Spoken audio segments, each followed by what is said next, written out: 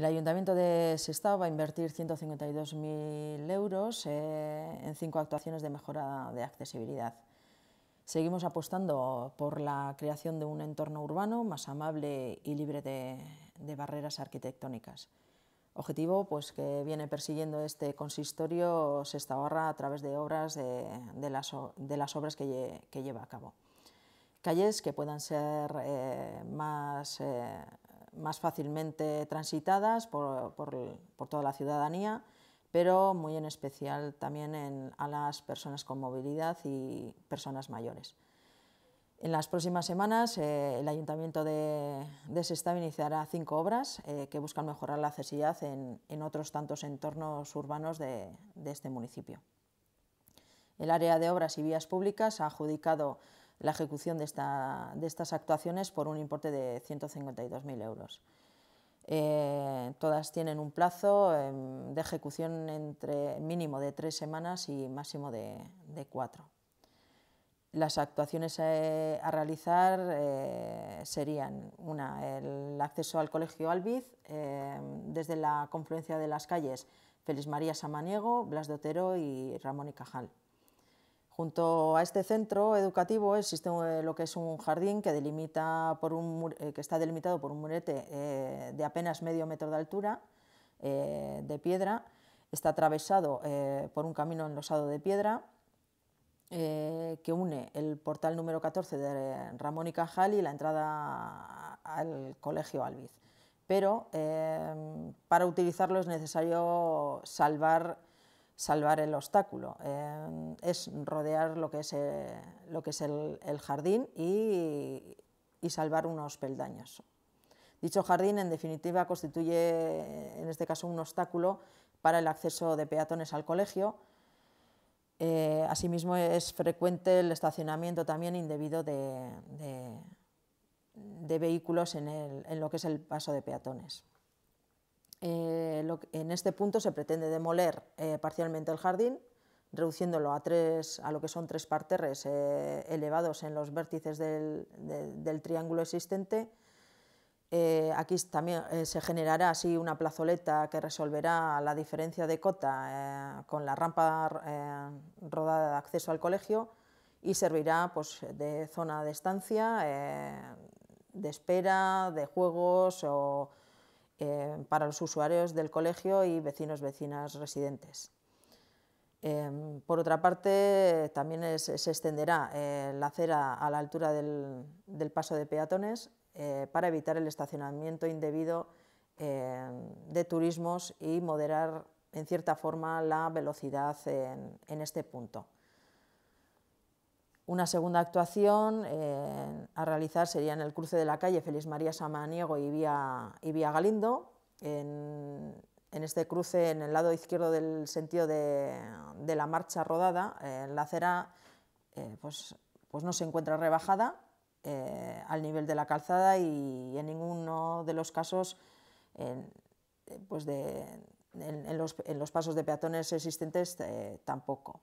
Eh, no existe señalización de baldosa podotátil para las personas invidentes.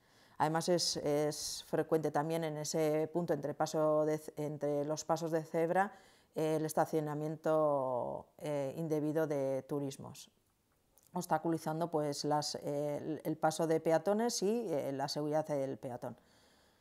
Aquí se pretende realizar una extensión de lo que es la, eh, de acera en el cruce, de forma que se impida el estacionamiento indebido y la correcta señalización de, la acera con pavimentación podotátil. Se renovarán el bordillo, la rigola y el pavimento de la acera similar pues, a las intervenciones realizadas anteriormente. Y se renovarán las marcas viales de pasos de peatones. Una tercera actuación sería en el cruce de la calle Vía, Vía Mézaga y Plaza San Pedro. Aquí nos encontramos con una serie de, comercios eh, este, en, este tramo de acera. Este tramo de acera tampoco está rebajada, eh, no está rebajado el paso de peatones y ni existe señalización de baldosa podotátil en ninguno de los dos lados. Eh, se pretende una actuación en los mismos términos que las actuaciones anteriores eh, extensión de acera, eh, colocación de señalización de baldosa podotátil y renovación de pavimento y marcas viales. Esta actuación la completaremos con la colocación de dos farolas para mejorar la iluminación de ese tramo de acera y la renovación del asfaltado y pintado de las marcas viales. Una cuarta actuación sería del cruce de la Gran Vía con Antonio Machado. A la altura del número 25 de, la Gran Vía, la acera no se encuentra en ningún caso rebajada al nivel de la calzada, ni existe señalización podotáctil. Además, es frecuente el estacionamiento masivo de turismos eh, indebidos eh, y obstaculizando pues, bueno, el paso de peatones y sobre todo la seguridad este, en, este, punto. Se pretende realizar una extensión de acera eh, en, este cruce eh, de forma que se impida el estacionamiento indebido y la correcta señalización de la acera con baldosa podotátil. Para completar esta intervención lo que se renovará eh, los bordillos, la regola y lo que es la pavimentación de la acera similar a, las intervenciones realizadas anteriormente. Eh, también se renovarán las marcas viales eh, del paso de peatones.